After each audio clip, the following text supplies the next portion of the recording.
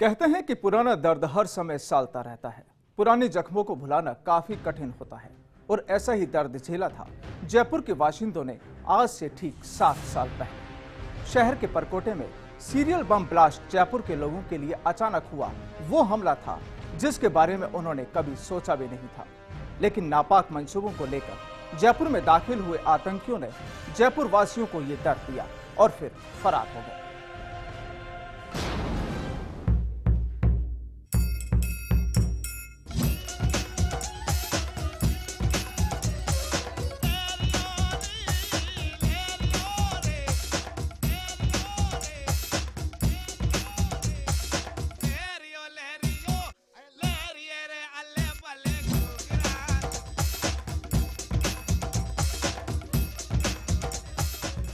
आज से ठीक सात साल पहले।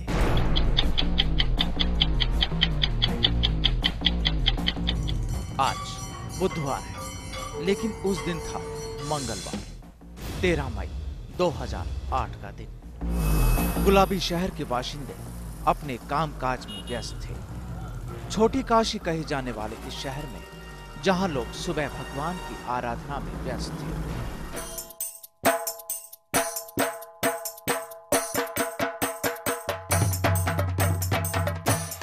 वहीं दोपहर में शहर अपनी रफ्तार पकड़ चुका था।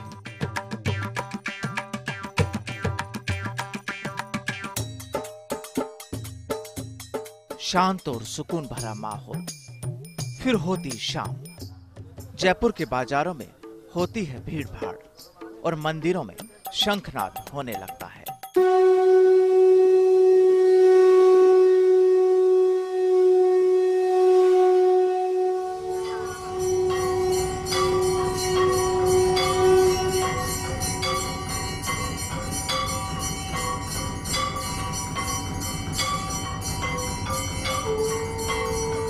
आरती का समय हो जाता है और वक्त होता है शाम के सात बजकर बारह मिनट। लोग बेफिक्र होकर अपनी रोज़मर्रा की ज़िंदगी जी रहे होते हैं। लेकिन अचानक उनकी ज़िंदगी में आ जाता है एक भूचाल।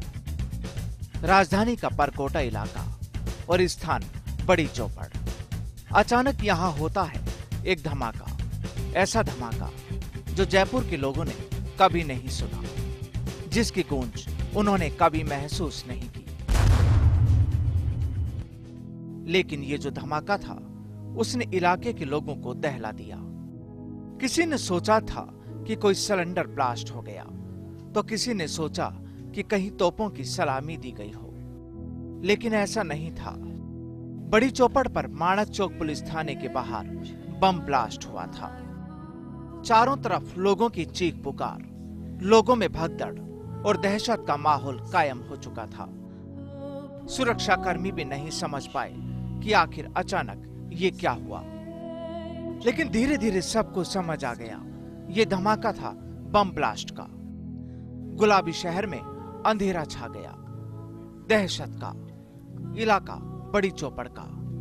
लोग कुछ समझ पाते, इसी बीच फिर कुछ पलों बाद ही दहल उठा ये इलाका फिर एक बार। बड़ी चौपड़ के खंधे में हुए दूसरे धमाके ने फिर लोगों को हिला दिया और अब लोग सब कुछ समझ चुके थे। जयपुर में एक के बाद एक बम धमाके। बड़ी चौपड़ पर शुरू हुए इस खूनी खेल के बाद लोग अपनी जान बचाने के लिए सांगानेरी गेट और चाँद पोल की तरफ़ दौड़ने लगे। उन्हें फ़िक्र थी तो अपनी जान की, अपनों की जान की। लेकिन जिस तरफ़ भी उन्होंने दौड़ लगाई, उसी तरफ़ शुरू हो गया धमाकों का दौर। दो धमाकों के बाद लोगों में दहशत फैल गई। मंदिर में साँझ की आरती की जा रही थी।